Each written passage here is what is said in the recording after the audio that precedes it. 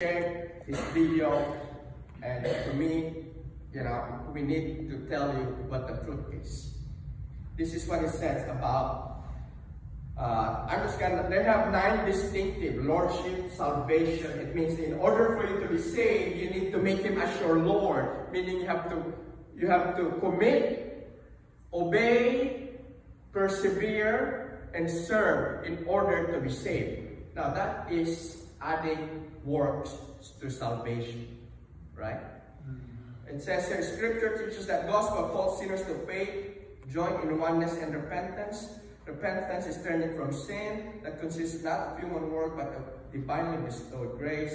It is a change of heart, but genuine repentance will affect the change of behavior as well. In contrast, easy believism, see, they mark the word believe. They call it easy believism. Teaches that repentance is simply a synonym for faith, that not turning from sin is required for salvation. Mm-hmm.